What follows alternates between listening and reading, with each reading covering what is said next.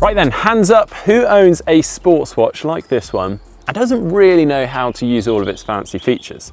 Yeah, you're definitely not alone. Nowadays, they pack a heck of a lot into these watches, so it can seem a little bit overwhelming. And even for those that feel like they have a fairly good grasp of using them, there are potentially ways that you could be getting more from your sports watch. Like for instance, changing some of the screens so it displays different data for interval sessions, changing them between disciplines and even changing some of the settings so you can allow better data analysis post workout. Well, I'm going to be running through all of this today and more using our partner's watch, the Polar Vantage V. But obviously this applies to any sports watch, so don't worry if you currently own a different brand or model. Okay, so we have received loads of questions over the last year or so regards to sports watches, how we use them, how we set them up, how we personally use them, and so on. And most of these have been regards to running. So I'm gonna kick off with that today, but obviously if you use your sports watch for swimming or cycling, don't worry because I will be touching on that too. And obviously a lot of these features and tips do cross over anyway. So let's begin by taking a look at some of the features and functions that you may have in your sports watch. So firstly, it's likely to have GPS, a barometer and some form of measuring heart rate. Now, the GPS, which stands for Global Positioning System, tracks your position and therefore recording how far you go and how fast you go. The barometer measures the air pressure and therefore the altitude. So we can take a look at our elevation change throughout an activity. And then the heart rate. Now you may have a watch like mine, which is rather fancy and has a built-in heart rate monitor and therefore utilizing optical heart rate measurement. But whether your watch has this or not, it will likely be able to pair with and communicate with an external device, such as a chest strap heart rate monitor.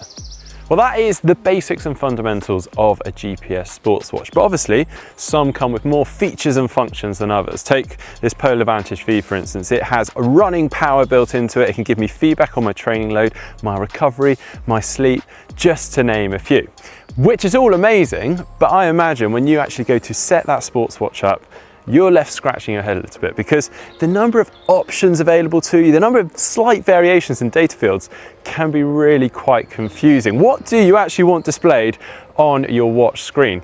Well, I think it's time we go take a seat, we grab a brew and we explain.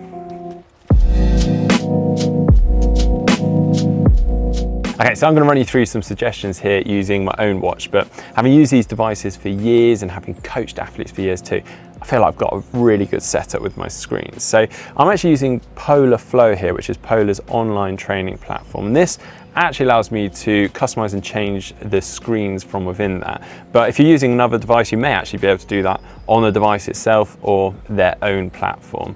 Now, I also like to suggest that you have a number of different screens that you can choose from for different types of training sessions. So my first one here is my play screen. So this is for those everyday easy runs, those fun runs. Now, this needs to have those basic metrics. So you want your elapsed time, you want your distance, you want your speed or the pace that you're going and also your heart rate.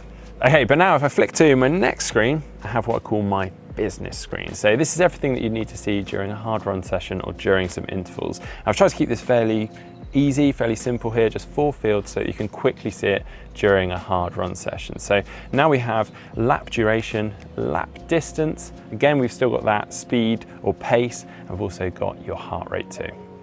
Now for this to all work, there are a few ground rules because you need to hit that lap button when you start a session, when you start a rep, end a rep, start recovery, end a recovery, basically at any interval point. This will then be able to tell you how long or how far you've gone on that specific interval, how much recovery you've got left, and so on. Now, just to clarify, this does not stop that overall elapsed time. If you flick back to that first screen, you'll still see that ticking away. I also, additionally, I do recommend switching off any auto lap feature that you may have already enabled on your watch because that can get really confusing. Now, by doing all of this, you are going to not only massively help yourself out, but also a coach if you do have one, because when you come to analyzing that workout, post session, you'll be able to see those individual laps and really analyze those blocks. And trust me, having been a coach, this helps massively. Okay, so they're my two most important screens, my play screen and my business screen. But I do actually have a few extras which I maybe don't refer to quite as often, but they're quite fun. They're entirely optional. I just quite like to refer to them from time to time. One of which is power. Yep, power for running. Now this is a new one for me too. It's quite a novelty. Obviously I'm really used to it for cycling, but I'm actually really enjoying using it for running at the moment. Now I just quite like to refer to this screen from time to time, but I may actually start incorporating it into my play screen and even my business screen for run sessions. Now currently it displays my current power in the middle of the screen, my max power at the top and my average power at the bottom. Now I am actually quite fortunate in the fact that the Vantage V has a built-in power meter, which is really quite unusual. But that doesn't mean that your device can't pick up or read power. It just may mean that you need an external power meter, such as a footpod to record this. Now if I scroll through again, I've got a screen for altitude. So this displays my current altitude in the middle, ascent at the top, and descent at the bottom, which are all interesting things to look at from time to time. And then similarly, if I scroll to the next screen, similar format I've got for cadence or steps per minute.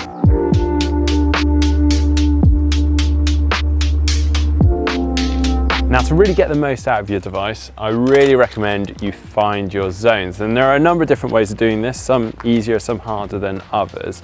The easiest of them all is the age formula, 220 minus your age, and that will give you a very rough maximum heart rate.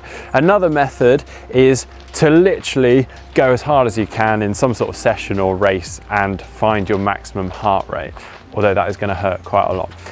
Finally, another method is to do a threshold run test. You can do this in a lab and you'll get some very precise results, or you can do this yourself out on the road. If you're going to do that, I would suggest doing a 30 minute all out effort on your own. And then with that new threshold or maximum heart rate, you'll be able to calculate your zones. For myself, I use my maximum heart rate, put into Polar Flow, and that churned out and automatically created my zones for me. Now, when I look at my device, I know that my zones are bang on.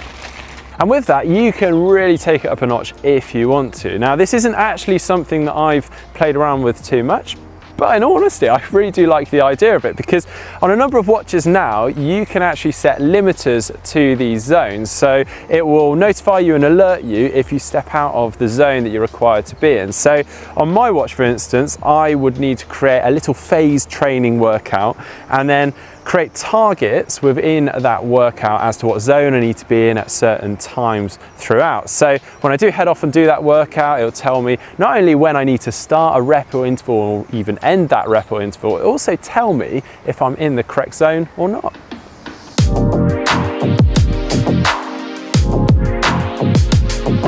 And this really comes into its own in the water because obviously you're not able to check your watch quite so often as you're swimming along. So instead, it beeps and buzzes as you go. So both of which you can hear and feel and then notified as to whether you're in your zone or you're stepping outside of that zone. In terms of what it actually displays, that's obviously slightly less important because you're not able to monitor your watch quite so regularly as you swim along. But I would recommend having overall elapsed time distance and heart rate. And then when you go to do a session, you want to have lap time and lap distance. And then for biking, you're probably going to want to change a few more of those data fields but still sticking with those two screens that we are talking about for the run, that play screen and business screen for the everyday rides and those sessions. Now, on that play screen, as a minimum, you're going to want overall elapsed time, distance, speed, and heart rate. And then if you do have room for it and you do have a power meter, then power is quite nice and also cadence. Whereas on my biking business screen, I would recommend having current lap time, power, heart rate, cadence, and if you have room for it, average power and even normalized power if you can. Now that is a lot of information there, so if you do have any questions on any of that, then please do drop them in the comment section below. I will happily answer them. And as I said earlier, this is exactly how I have my devices set up and have had for a number of years and it's been everything that I've needed to perform. However, I do appreciate that other people out there may prioritize different metrics due to the location that they're in, the environment, what they're training for. So if that is you, I'd love to hear from you and why it differs. So again, please do get involved in the comment section below. If you liked today's video, please do hit that thumbs up button. If you'd like to see more from GTN, click that globe and subscribe to the channel. If you'd like to see our running with power video, then just click down here. If you'd like to see our Polar Vantage V unboxing video, then just click down here.